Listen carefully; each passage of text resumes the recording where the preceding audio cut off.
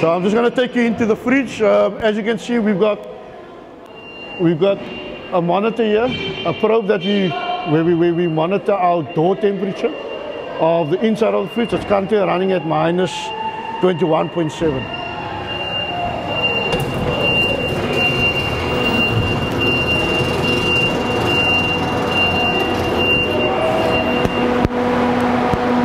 Okay, inside the coaster, our coaster is plus minus 58 meters long and I think about say about 8.5 meters high.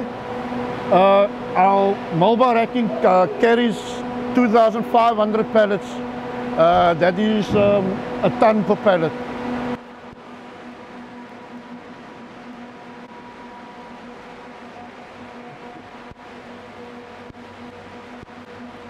Uh, all our racks has got four levels up. Um, your highest level is where your pallet, pallet is sitting on now is about 7 point, just over 7 meters high. So it is quite high. Our racking takes up to, on, on one shelf, it takes up about 90 pallets. So that's 19 times 4.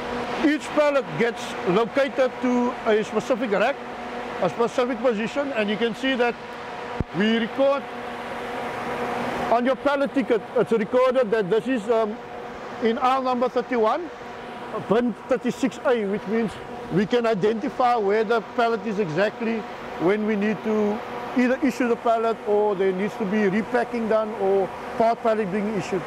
So that is one of the systems that is put in place of tracking and tracing pallets. Uh, this is a cold cat that was designed for specifically for cold storage uh, companies that makes use of, of cold storage facilities. Now, all operators is fully trained as well. Um, they go every two years, they need to be like I said, specially designed machine, um, especially for cold storage facilities. And this machine reaches up to 7.5 meters high. So it is, it's quite, quite a magnificent machine, fairly new to the company as well. This is the machine that we use to stack away the pallets and obviously to, to, to remove the pallets from the, from the mobile racking.